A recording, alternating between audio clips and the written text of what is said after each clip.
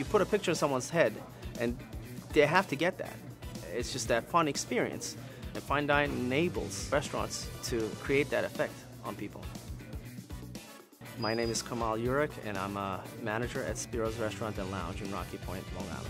We are a fine dine American steakhouse known for um, the quality of service, quality of food, and the cocktails. Since we started using FineDine, we've increased our liquor and food sales about 15 to 20 percent, which is which is insane, which is so dramatic uh, for, for business.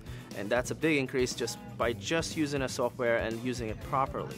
You have over 70 martinis, uh, over 70 scotches, and so many items, and we're able to present it to our customers within just one little tablet. Trying to have that written, you waste so much paper, it's not good for the environment, and also it's not functional at all.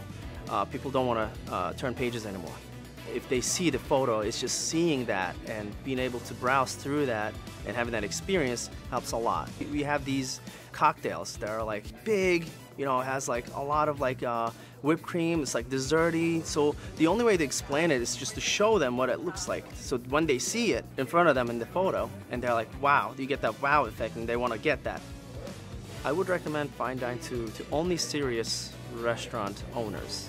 You're able to achieve spectacular results. Within a quick few weeks, you're able to see 15-20% increase. With the technology available out there, it's the best thing you can use for a restaurant. It makes everything so much easier from a selling point of things to uh, advertising point of things. It's, it's the greatest tool that we've used so far as far as you know our menus are concerned.